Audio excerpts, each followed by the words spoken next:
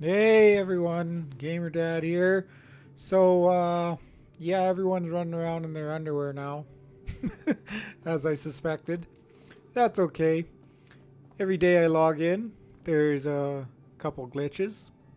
That's okay too, because the amount of detail in this game, once you actually get there, is pretty insane. So today we're walking through two of the convention halls and uh, oh yeah, this is uh, takes me back to Westworld. So uh, I felt like I wanted to uh, feel like I was in Westworld, and this just proves to me that everything is a conspiracy and we're all just in the Matrix. But I thought it was pretty funny. It's like they're all just lined up, ready to go for their job for the day. But uh, so yeah, this is uh, the Aegis Hall and the uh, RSI Hall. So that's pretty okay. Actually, it's really good. Aegis has a lot of ships. Uh, I'm just going to take you and walk you around all of them. As I said, this guy here, I think he's going to try to communicate with me. Yep, for sure. Uh, the teabag communication. You bet. so, yeah, it's always great fun. It's always great fun. But uh, we're going to walk through the Aegis Hall. And we're going to walk through that one first here. And I'm just going to show you all the different ships they have. They got uh, some really good ones. Actually, this thing here didn't work on the first day and now it's like it's working on this on today but it's overlapping. And then i think a little bit later on it actually works perfectly. So they're making progress every day and everything's oh yeah here it is. So uh, this one's actually working the way it's supposed to work. So the first day i was here it didn't work at all. The second time I came in, it was like that, and this is now the third time. So, like I said, making progress, making progress. Uh, we're gonna walk up and see the Aegis ships here, and uh, it's pretty impressive. The first one we get to see here, it's the Aegis Reclaimer, and it is a massive ship as you can see here, they have all, what is it, five halls here filled up, plus a basement with a couple of the concepts in hologram form. So right here we have the Aegis Reclaimer, which is going to be a massive reclaiming ship for salvaging and it's actually they're going to modify it and they're probably going to have something that you can put in place that's going to make it also a mining refinery as well. So they're going to make it a multi-use ship which is pretty awesome and pretty cool. And they're actually listening to the community on this one because the community has been flying this ship for quite a while now.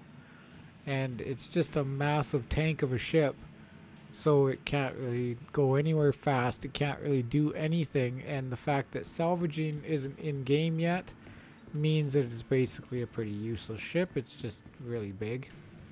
So we have mining and we have refining. So they're going to make it into a refiner first, and then actually next year is supposed to be salvaging. So it won't be on this scale of salvaging on the first iteration.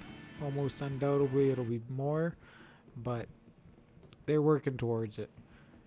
I really enjoy these holograms that they have here, and yeah, just enjoy the hologram.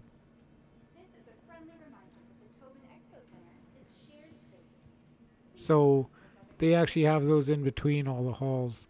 And here we have a stealth bomber. So the thought of Star Citizen is supposedly like World War II warfare in the future in space times. So take that as you will. Lots of the things in World War II with stealth bombers and bombers in general and mine layers. If you think about it pretty closely or at all, lots of it doesn't hold up in future terms, but it's going to be really cool for what they call theaters of war. And I hope we're going to have that within the next couple years, maybe. We might have something of that. And that's basically going to be your battlefield or first person shooter, action shooter, multiplayer, most likely. So I'm hoping that's going to be there. This right here is another bomber that they have, the Retaliator. And it's a fan favorite. It's got quite a few people who love it and quite a few people who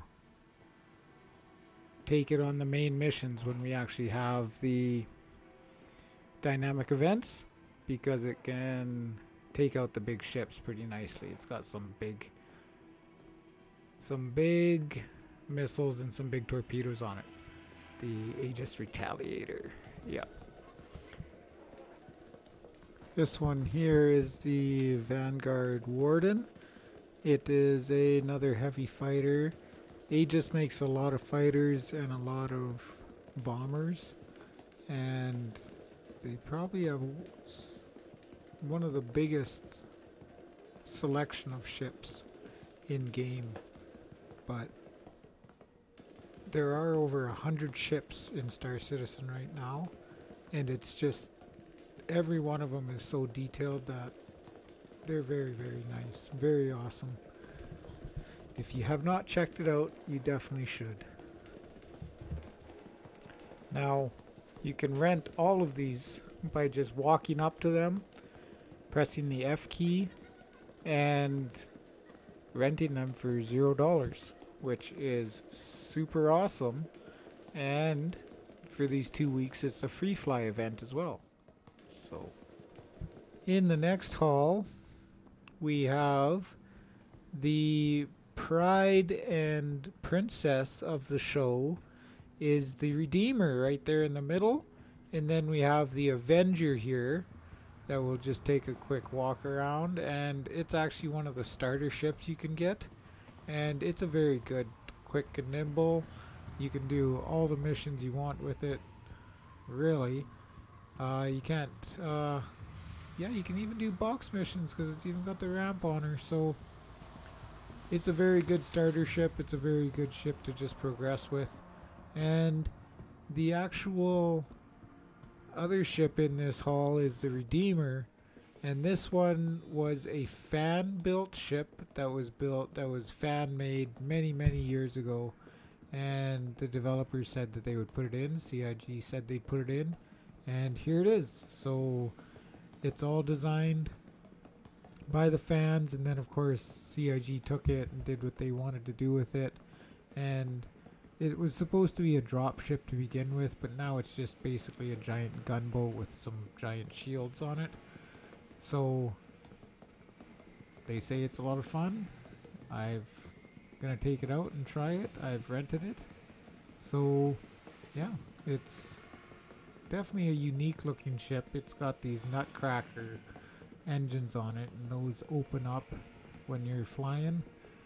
And it's supposed to have some really good atmospheric flight things like that so this here we have is the Gladius and it's another fighter another very detailed ship and very fun to fly, very nimble, very agile.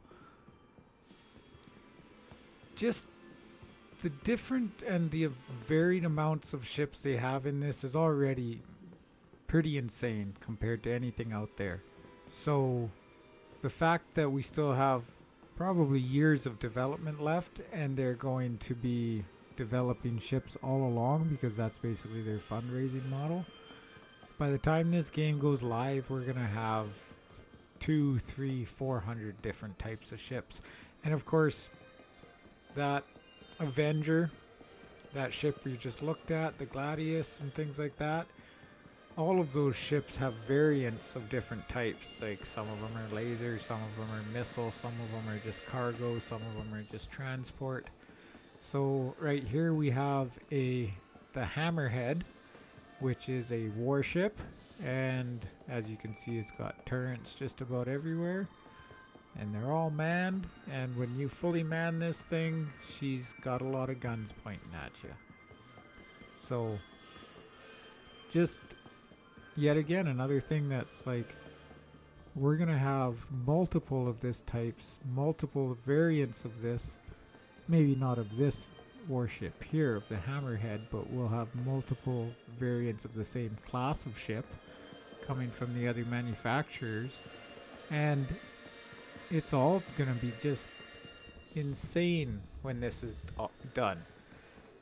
So I'm really looking forward to it. As you can see, everything runs very nice right now. As you could also see at the beginning, they got some server issues to work out and some bugs to work out, but all to be expected. I mean, every game that's launched in the last year to two, every game that's launched basically lately has been just a garbage fest of servers and problems and bugs and flops and just releases that just do not live up to what they're supposed to. So, I don't know. I'm looking forward to this. They're developing this in a different way, and I'm hoping it's going to be pretty awesome that way. This here is the Nautilus, which is going to be a mine layer. It's still in concept, so this is the holograph hologram for it. And CIG has a bunch of these ships in the pipeline that's in concept that we don't really know if they're in the pipeline or not. But they all look really, really cool, of course. And they all look very awesome because they have to, because they're still a concept and they want you to spend your money on them. So, this is the Aegis Vulcan another concept ship that's just a hologram right now. So, still, even though the fact that they put the effort in to make these holograms and to make a show that you can go into and walk around at is far different from many other games out there right now. So the fact that they put those that effort into this is in my book, a good thing already. So, this here, I just wanted to. These is the RSI hull now, and this is the Constellation class ship, and these ones are very sought after. These ones are limited. I believe they're a limited hull, so they only sell a few of them, or they only sell some of them every every every year, and they're sold out every year. Everybody just buys them up. Just same with these ones. This is the Polaris, another concept from RSI. This is going to be basically the capital killer torpedo boat with a pretty awesome hangar bay that's going to be able to fit a heavy fighter, we're told. So this is one of the ships I'm really looking forward to. I really would like them to be working on these ships, but they're also the big ships of the verse and right now in my mind it looks like they've put out a couple like they put out the 890 jump which is an origin ship which we'll get to see this IAE at some point but they put out the that big ship they have a couple of other big ships, the Hammerhead, and they're working on the mechanics of the docking bays and all that and all that stuff right now, right? So my thoughts are they're not going to bring out these big ships until all of that's basically working flawlessly. They have the servers working good and they know they can support these big ships. So when we do want to spawn them, and everybody wants to show up in their Polaris, you the server can actually handle 10 Polarises flying down to the planet or whatever silly thing everybody's gonna have. So yeah, those would be my thoughts on the big ships right now. I think this ship like this is going to be a couple years out minimum. If it comes in a couple years, I'll be surprised. But we have one other ship down here, and that is going to be the Perseus, I believe. And the Perseus is another big ship fighter but it's kind of a step down from the Polaris, but it's working with some lasers instead of torpedoes. So it's still a big capital class killer. It's still supposedly a big gun ship, but it works on a lot less crew and it's just a little more compact of a package. So another I love the look of the RSI ships. They definitely look like warships. They definitely look like they belong with things bouncing off their hulls. so I do enjoy. I'm looking forward to this one too. But yet again, it's another large ship, so I don't think they're going to be focusing on these ones. I think they're going to put out a lot of concepts for large ships. I think they sell those concepts to people. But then I don't I think it's I think they're still a couple years out. Like they got to get this server in place and then they'll be going for that stuff. So if you're looking to buy these ships, like these ships are like seven hundred dollars, six to seven hundred. I would be if you don't have the money, don't spend it because it's not going to be around anytime soon. This here is another one of my favorites. They all come from RSI. The RSI Scorpius which is a heavy fighter, which has a really cool turret that runs up and down the spine of the ship and actually can run down and to the back and underneath it almost. So some really cool features on it, some really cool design features on it. Of course, you're going to say it's stolen from X-Wing. It's just an X-Wing, but they actually did a lot of research before they built this to see if they could get in trouble for it. And it's actually they the lawyers looked it up, and the X-wing model is so prevalent in sci-fi. It's basically in every sci-fi show ever made. So pretty tough to patent, pretty tough to make that. Oh, only I can make an X-wing when basically 12 other shows have it. So not very proprietary. This here is the RSI Rover exploration vehicle. So take this on your exploration ship, drop her down, and you can drive around on the planet safely. We're just going to tour this. This is the constellation that we were looking at earlier. And I wanted to show this because this is like the party boat that everybody buys and everybody wants this one. It's definitely very well designed. It's very cool. Got a floating table there, floating glass table. Got the aquarium. Got a nice little meeting table there, a bar. Like, you can't go wrong with it for sure, but everybody's hoping on VIP transport, I guess, is the big thing. I don't know about that. I tried doing transport in Elite Dangerous. I wasn't too much of a fan of somebody screaming at me whenever we got scammed. So, I don't know. Not really my cup of tea. I don't really want to transport people around. But other people do and it's very popular and lots of people buy this up every time it goes on and like i said it's a limited number so sells out every year i believe they do three waves a day so there's a chance of you getting it if you come sign in a little bit later kind of thing every four hours for 12 hours or something like that or every six so yeah very detailed ship again though and just pretty awesome. But that would conclude our tour of day two and three. See you tomorrow.